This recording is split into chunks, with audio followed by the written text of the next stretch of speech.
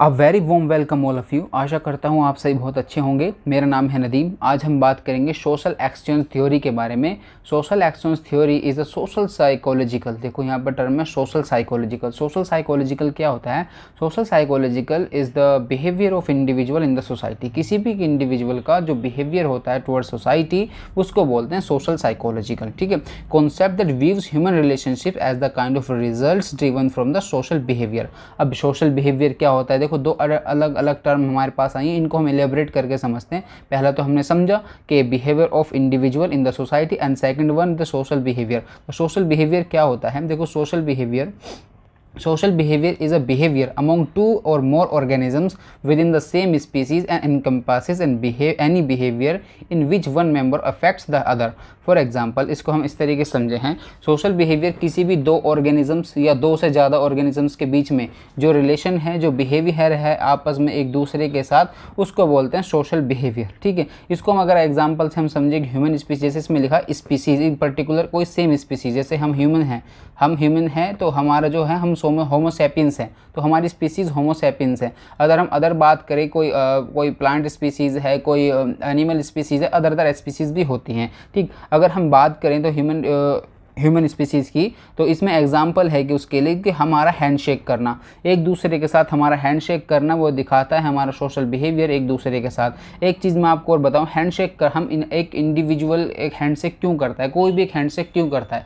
Handshake करने का sense मतलब होता है कि वी फीलिंग जब हम एक दूसरे को बॉडी को टच करते हैं, बेशक वो हैंड टच करते हैं एक दूसरे का तो हम उसमें एक वी फीलिंग आती है, हमें कि कनेक्ट फील करते हैं एक दूसरे के साथ। लेकिन अभी कोरोना चल रहा है, अभी वी फीलिंग लेने की कोई ज़रूरत नहीं है।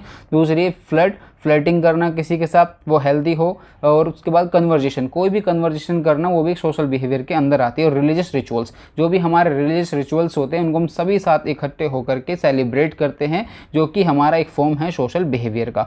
आशा करता हूँ आप इस चीज़ को समझे होंगे। अगर हम बात करें तो सोशल एक्सचेंज थ्योरी बात करती है maximize benefits and the minimum cost maximum benefits and minimum cost कोई भी इंडिविजुअली कोई भी नहीं चाहता कि उसको नुकसान हो और उसको बेनिफिट ना हो। Every individual wants benefit not the lost तो हम अगर कुछ भी काम करते हैं, किसी के साथ हम रिलेशन बनाते हैं तो उसमें भी हम देखते हैं कि किसके साथ हमें रिलेशन बनाना चाहिए। क्या हमारी आइडियोलॉजी मैच करती है? क्या हमारे एक दूसरे के गोल सेट जो गोल्स हैं, वो सेम हैं? क्या किस तरीके से हम किसी एक पर्टिकुलर अचीवमेंट पा सकते हैं साथ मिलकर? हम इस तरीके की रिलेशनशिप नहीं बनाना चाहते जो हमें नुकसान दे। फॉर एग्ज़ाम्पल एक ऑनेस्ट या फिर एक डेडिकेटेड स्टूडेंट है पढ़ाई के लिए, और एक आवारा है, जिसको वेंडर बोलते हैं। वेंडर है अगर कोई तो इन दोनों के जो रिलेशन होगा वो नेगेटिव होगा, पर करेंगे। वो चाहेगा या उसके जो पेरेंट्स होंगे, इसके पेरेंट्स जो होंगे, वो भी चाहेंगे कि वो इससे रिलेशन ना बनाए, ठीक है? क्योंकि उससे जो है उसको कोई बेनिफिट नहीं होने जा रहा और लॉस लॉस ज़्यादा हो सकता है।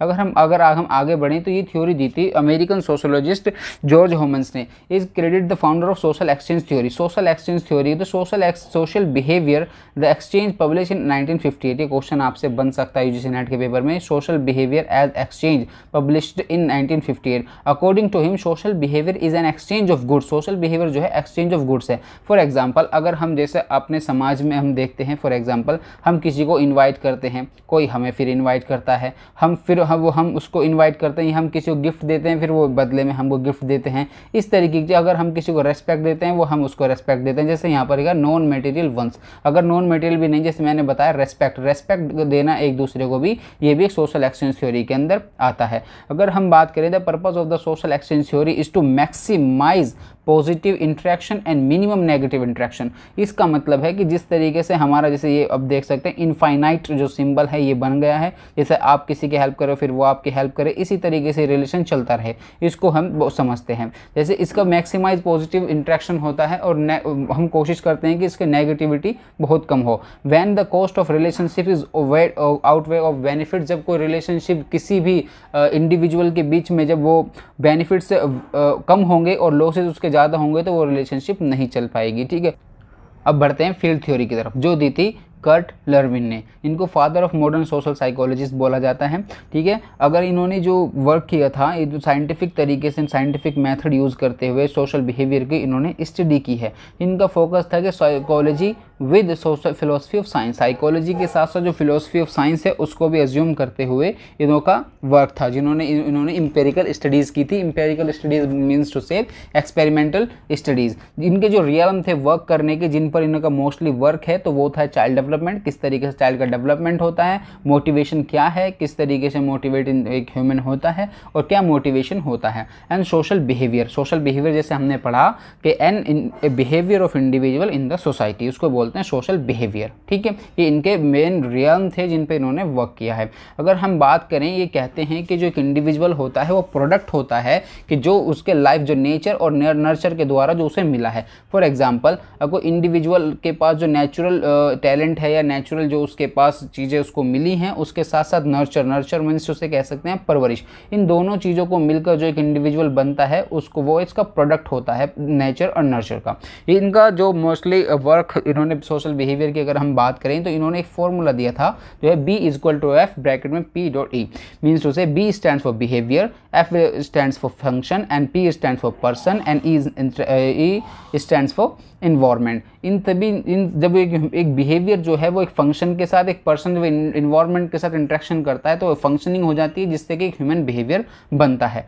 He assert that behaviour of individual always gear towards some goal and objective जो इंडिविजुअल का जो बिहेवियर है ऑलवेज जो है ऑलवेज गियर टू ऑलवेज जो है वो एक बढ़ता है, एक सम गोल्स की तरफ़ या ऑब्जेक्टिव की तरफ़। सम गोल और objective precisely the intention the matter most in the performance of the behaviour जो कि बताता है कि किस तरीके से एक ह्यूमन का जो बिहेवियर है, वो डेवलप होता है किस तरीके से परफॉर्म करता है। जैसे फॉर एग्ज़ाम्पल अगर मैं आपको एग्ज़ाम्पल दूँ, आप सुबह उठते हैं तो सुबह उठने के बाद आपका जो छोटा, जो प्राइमरी कह सकते हैं कि सुबह उठने के बाद आपका गोल हो सकता है कि आप जो है ब्रेकफास्ट करें, उसके बाद आप अपने काम पर जाएँ उसके बाद जो अदर अदर चीज़ें जुड़ती जाएँगी। जो बिहेवियर जो आपका जो मोटिवेशन होगा, वो धीरे धीरे बढ़ता रहेगा और आप जो है चीज़ों को अचीव करते हुए चलेंगे। जैसे कि फिजियोलॉजिकल नीड को पूरा करने के लिए आप कुछ, आप मोटिवेट होंगे उसको कंप्लीट करने के लिए या फिर आप साइकोलॉजिकल सोशोलॉजिकल जितने भी चीज़ एस्पेक्ट्स हैं जो आपके मोटिवेशन हैं, उनको कंप्लीट करने के लिए आप जो है आगे बढ़ेंगे विद मोटिवेशन के साथ। ओके तो ये इन्होंने का, इनका कहना था। ये था हमारी वीडियो का and thank you for being here ये हमारे चैनल का लोगो प्लीज़ चैनल को सब्सक्राइब करें, वीडियो को लाइक करें, कमेंट बॉक्स में ज़रूर बताएँ कि आपको वीडियो किस तरीके से हेल्पफुल रही या नहीं। अगर आपको कोई कमी लगती है तो आप मुझे कमेंट बॉक्स में बताएँ। Feel free to share your opinion in comment box